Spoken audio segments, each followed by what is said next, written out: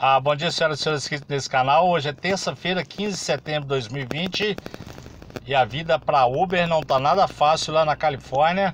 Gostaria de compartilhar uma matéria que saiu aqui ah, ontem. Essa matéria saiu no Yahoo Finance, dizendo que aí do empréstimo da Uber, a Uber tomando empréstimo, Uber toma empréstimo de 500 milhões de dólares com taxa baixa recorde para refinanciamento.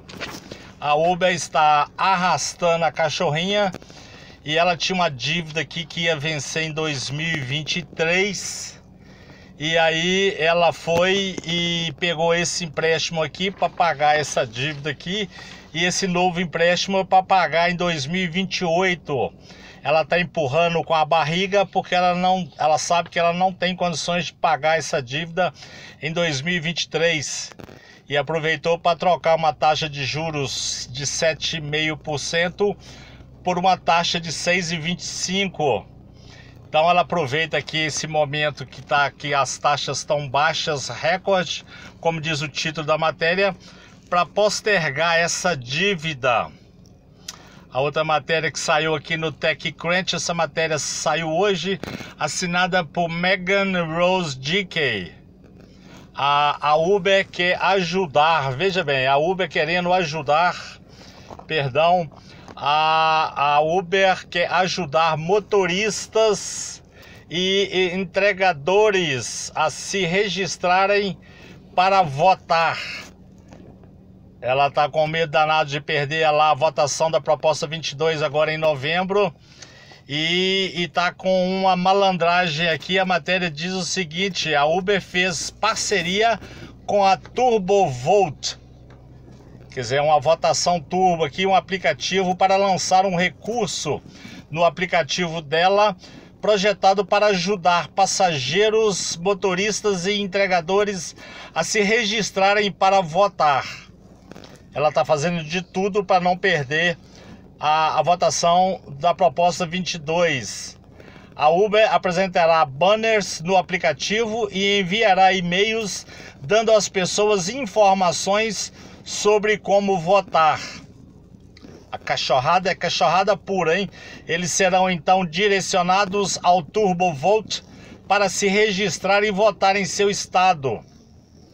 Também tem iniciativas para ajudar os eleitores a encontrarem seu local de votação e oferecerá passagens com desconto de ida e volta para as urnas.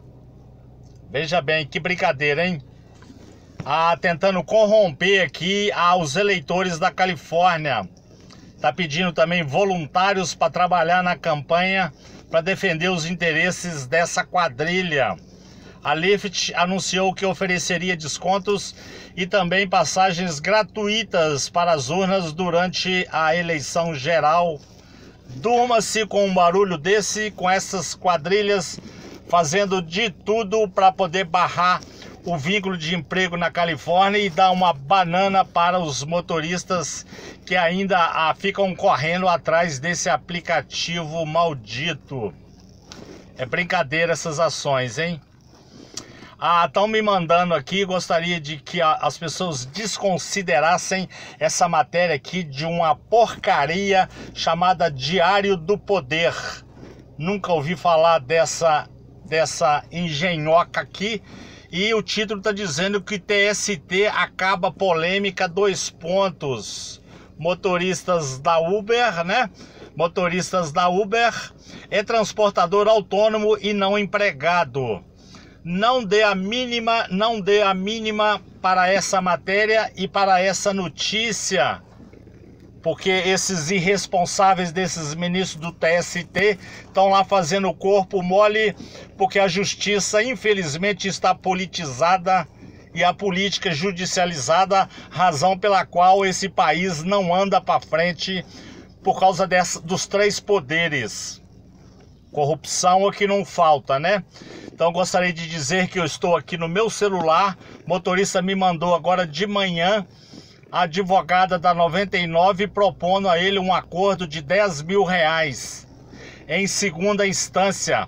Então, ah, eu faço um apelo aqui de novo a motoristas de aplicativo e taxistas principalmente, e infelizmente muitos taxistas aí não querem acionar a 99 na justiça porque dizem que não tem outro aplicativo e ainda estão servindo ao inimigo esse aplicativo chinês maldito esse motorista aqui que me fez contato agora de manhã, ele perdeu a ação dele em primeira instância, em primeiro grau, e o processo dele subiu então para o TRT aqui de Minas.